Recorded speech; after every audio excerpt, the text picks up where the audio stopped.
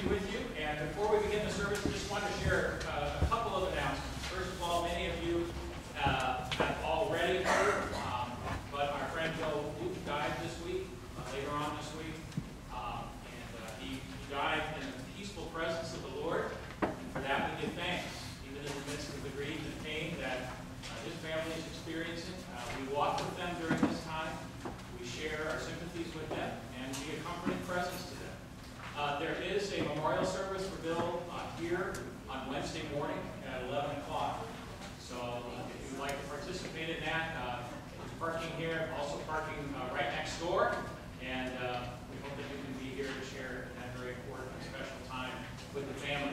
We would ask that at the conclusion of today's service, if you are, have the time and are willing to help move some chairs around uh, for the arrangement for uh, the uh, service on Wednesday morning at 11.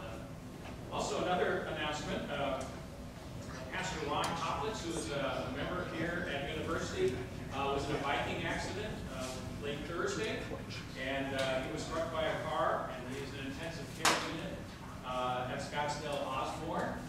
Um, But he is conscious, and he's improving. Uh, There is uh, some bleeding in the brain, um, and that's continuing for the first four days, but apparently that is normal